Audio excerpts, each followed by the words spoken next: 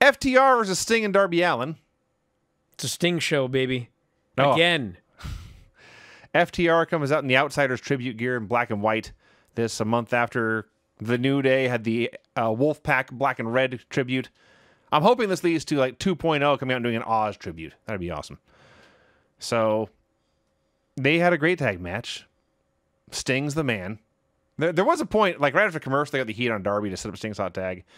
And Darby is fighting for a hot tag, and FTR is playing keep away basically. And I could have watched this for like an hour.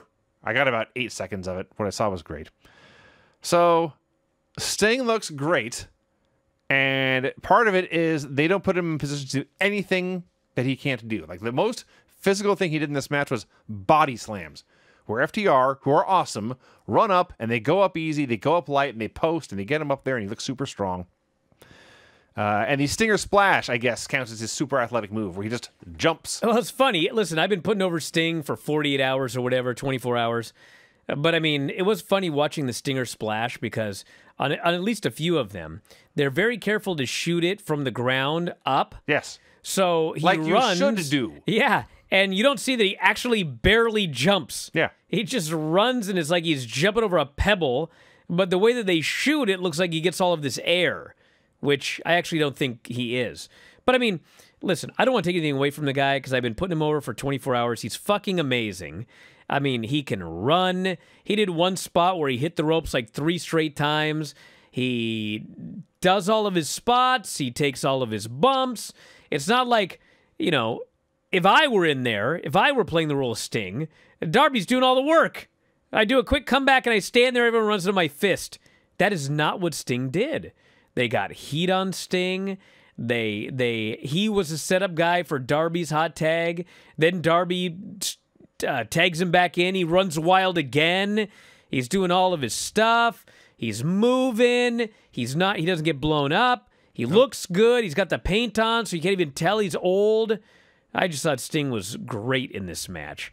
And obviously, a large part of that is everybody that he's working with. But as I mentioned today, they had a match with uh, the Men of the Year. And Sting shined in that match as well. So you can't say it's only his opponents. He's pulling his weight in these matches, and he's doing a great job. So they do a spot near the end where uh, Dax picks up Sting for a tombstone, but he drops backwards and Sting lands on his feet. And in 1991, Sting would have pulled him up into his tombstone. It's 2021, so he went for the reverse DDT instead and got that. He puts on the Scorpion, and the final spot is Cash from the outside is reaching in from the apron to try to grab Dax's uh, hands and pull him out of this hold. And so Cash is stretched out across the apron. Darby Allin goes to the top rope and turns his back and does a coffin drop. If you have not if you have not watched this, or even if you have, go back and watch this.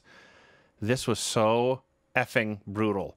He lands back to back on top of Cash on the apron, the hardest part of the ring, and he bounces, which means he turned Cash's body into a giant spring.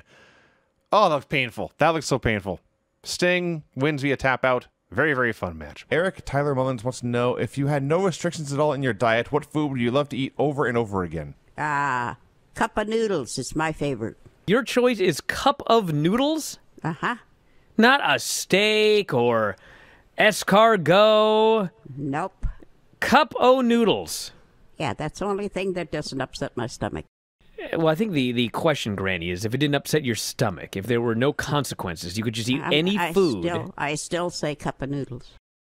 If you enjoy these videos, for just $7.99 per month, you can enjoy full length editions of The Bryan and Vinny Show, Wrestling Observer Live, Figure 4 Daily with Tom Lawler and Lance Storm, the Mat Men podcast, Speak Now Pro Wrestling with Denise Salcedo, and more, plus hundreds of archived shows, all in beautiful HD.